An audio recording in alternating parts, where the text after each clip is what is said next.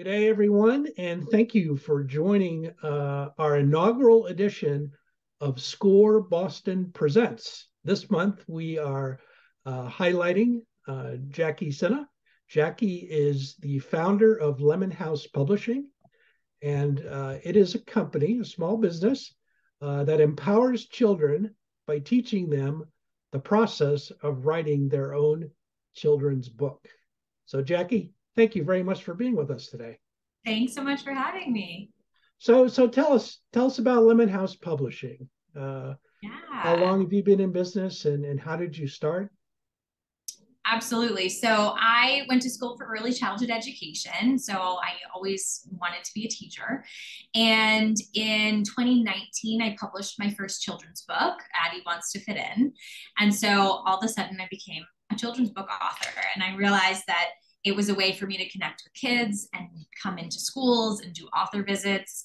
And so I did that spring 2019 um, and fall 2019 approaching our big year of 2020 not knowing that everything was about to shut down mm-hmm. and i started developing a curriculum to teach kids the process of writing their own children's books and that to me i realized when I held my book in my hands for the first time and just saw all the work that went into it and all the things that, you know, I learned from it and all of that, that if I could give a kid that confidence and that pride, um, that's all of a sudden became my my mission. And so I developed this curriculum and I did my pilot program in Needham, Massachusetts. Um, of course, in person, because that was a normal thing at the time in January 2020 and the last class was canceled because of COVID. All the schools were shut down in March. And so we jumped on Zoom and it got a little crazy, but they finished their books. I had a group of nine fifth and sixth grade girls and they finished writing their own books and it actually gave them a great project for those first few weeks of covid because they had something to work on. And and so they they write their own stories and they do their own illustrations.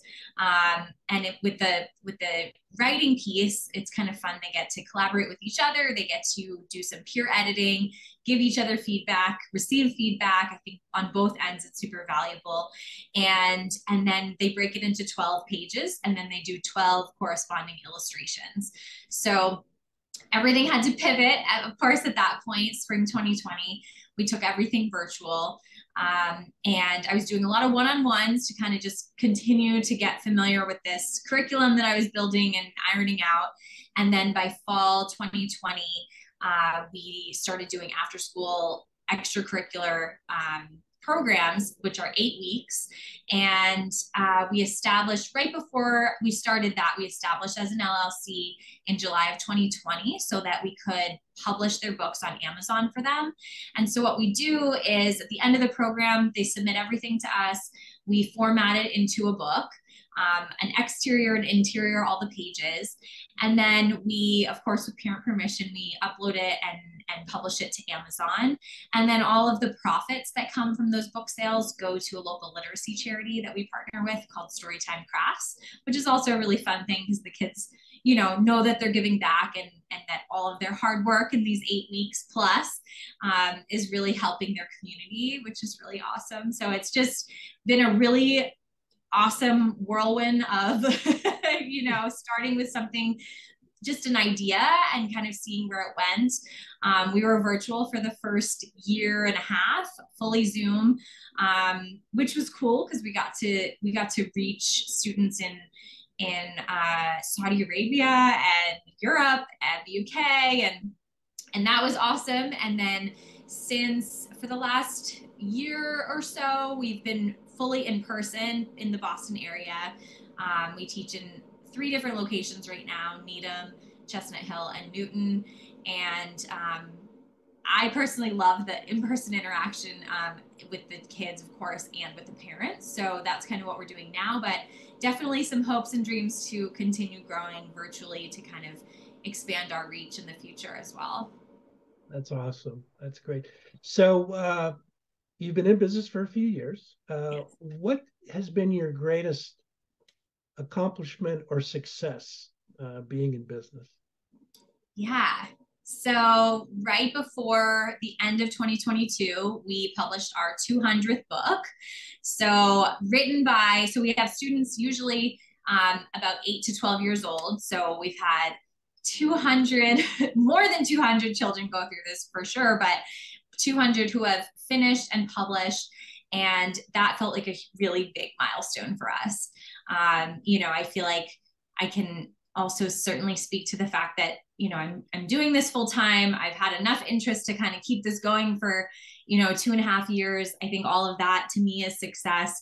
Um, but to kind of have the numbers and the milestone and and to have students come back to write sequels and write second books. And third we actually have one student who, who has written four books with us.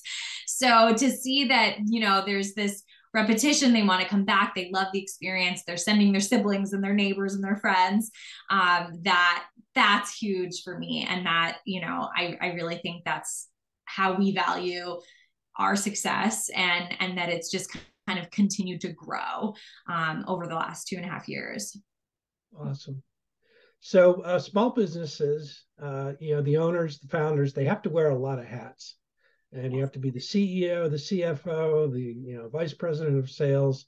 Uh, as you think back, what has been the greatest challenge to you in running your business? Mm, yeah, I think um, the CFO part for me is a little tricky. Um, you know, definitely finding resources. I mean, finding SCORE has been amazing for me. And I actually found SCORE through a program that I was doing at Babson that um, ended up recommending SCORE to me. And so finding resources that have helped me with the kind of the financial piece, the numbers, um, kind of, you know, I mean, our program is is typically fall winter spring and then sometimes we do summer classes. So knowing that these these you know the the the money comes in in waves is great but it also you know makes us realize we need to we need to kind of figure out you know over a full year um, or quarter what does that look like? And and how do we kind of sustain it and kind of keep it going on those months that we don't have enrollment because the students are busy writing their books? Yep. um, so so finding those resources for the financial piece i would say has been the most necessary for me. Um, again i went to school for early childhood education. I didn't go for business. And so um, i think there's a lot that I'm still learning with that, um, but really leaning on those resources has been a huge game changer for me. Excellent, excellent. Any advice for people out there who are thinking of starting a business? Mm, okay, so I feel like there were there were things that I tried to do before I kind of landed on something that worked, and and I think again, kind of telling my story quickly of you know, I wrote my own book and then I had this kind of just drive of I want others to have the same feeling of how exciting and and proud I am of this book, I think that has been my driving factor. So I think, you know, I never went into it. Of course, yes, you need to make money to continue this and, you know, to make this sustainable and to make this something that I can do full time.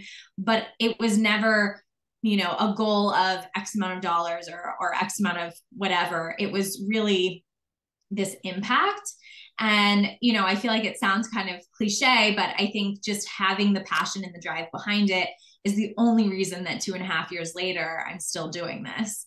So i think finding something that really lights you up um, that's you know what i found going into those schools doing author visits and and sitting one-on-one with kids and sitting in small groups. It's like those moments that I love what I do and I don't want to stop. And so then I kind of have to figure out all the hard stuff in between to make it still, you know, kind of keep going and keep it sustainable.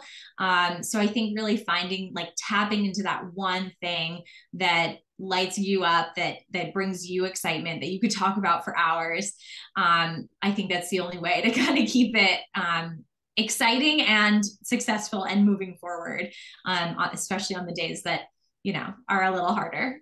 Right. So now you're a writer. Let's yeah. do a little bit of back and forth. Yeah. favorite book? Oh, Where the Wild Things Are. Yeah, favorite author? Um, this is funny. I just reread Judy Blume's um, Are You There, God? It's Me, Margaret, which I read in like middle school. and she's always been a favorite of mine. So I'll go with her. Excellent. And uh, favorite score counselor? Of course, Rob. You've been awesome. Truly. That last one was a trick question. no, that's the easiest one. No, seriously though, like having regular meetings with you, being able to just come and share and update and celebrate and complain and all the things. Um, you know, you've gotten to know me and my business over the last year oh my gosh i don't even know how long year and a half probably.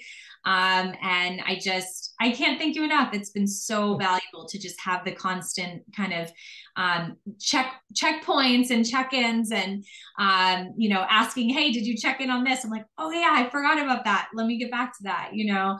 Otherwise the time just goes by and it just you know you need to keep moving forward. And so you've helped me with that so much so thank you. Excellent. Excellent. That's what uh, SCORE is here for, to help and walk alongside you. And I can tell by your energy, uh, you're destined for success. Uh, and it's been a, a, great pleasure to work with you as well.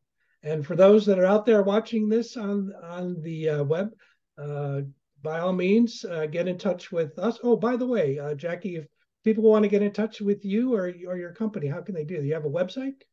Yes, lemonhousepublishing.com. And we're on Facebook and Instagram. Definitely check us out. All right. So, uh, everybody out there, thank you for tuning in. We'll be uh, having other uh, interviews in the coming months, but we uh, again thank Jacky for being with us here today.